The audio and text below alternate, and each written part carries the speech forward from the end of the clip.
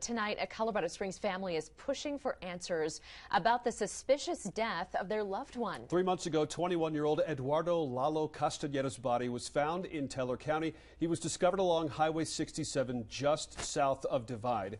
Investigative reporter Quinn Ritzdorf is live at the scene after talking with the family today. Quinn?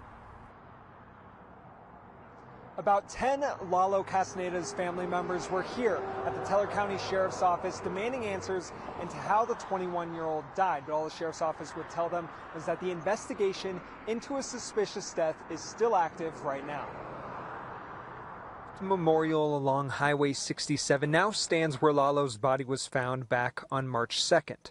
After the initial autopsy, the Teller County coroner told 13 Investigates Lalo died from a fractured skull three days before his body was found, but the Teller County coroner ruled out foul play.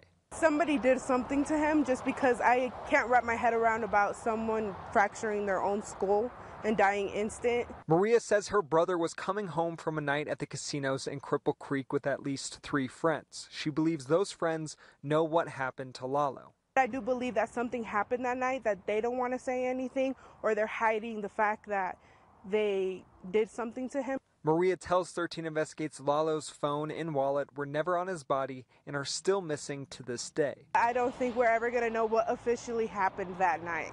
Maria says for the last three months her family has been seeking closure. I cry every single day because I just want to know what happened to him.